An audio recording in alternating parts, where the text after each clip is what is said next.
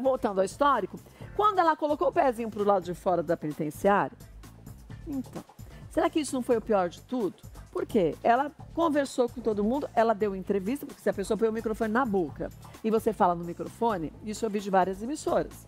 Já é inadequado. Você sabe que você não pode dar entrevista. Você pode falar pro povo. Na mesma hora, na rede social dela tem uma foto com a boca dela com uma tarja, com um X, essa daí, dizendo que estão querendo calar ela. Entenda, gente, eu não sou contra ela, não. Só estou dizendo, pensando com a cabeça do delegado, foi o que a gente falou ontem, o que pode, poderia acontecer as com as atitudes que ela É. E tem. a lei vale para todo mundo, Vale pra né, todo gente? mundo. Não... Depois, dão um microfone para ela com o Globo do- da determinada empresa de comunicação. Tudo bem, era um site, mas é de comunicação. Ela pega o microfone e ela fala.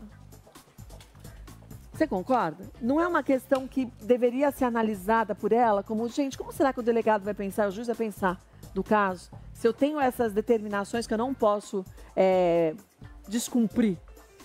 É aquilo que a gente comentou, né? A- a- o fato Não. dela tomar a decisão de já sair pela saída principal já é arriscado pelo fato da emoção falar mais alto. Acabou falando mais alto mesmo, porque ali quando ela é, faz esse movimento e no calor da emoção fala e as TVs transmitem. E eu acho que essa postagem aí na rede social também, porque foram duas questões que a justiça é, alegou que foram medidas cautelares que foram descumpridas para revogar esse habeas corpus. Então, uma dela a rede social, outra a entrevista.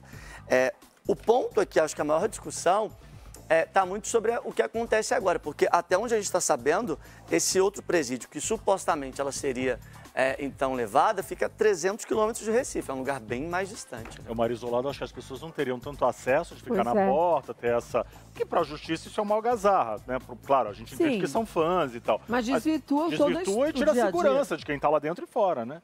E as detentas não pediram para que a Deolane e que a dona Solange fossem levadas para outros lugares, porque está acabando com a, com a calma Com a delas, delas. a vida delas, tá certo. É, trouxe tumulto, as próprias visitas também no domingo reclamaram de- do transtorno que virou ali dentro entrar, né? para ter acesso. É, é uma reclamação de- de- das- dos familiares e das outras presidiárias. Validada.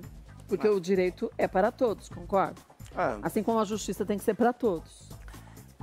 Alguns benefícios é, foram concedidos porque ela não está condenada, né? Então, Ah, não, talvez sim, ela sim. não tenha conseguido ali um privilégio, por exemplo, o próprio acesso à televisão que ela tinha, era algo que foi questionado. E ela tinha uma televisão. Tinha. Tinha, tinha sim.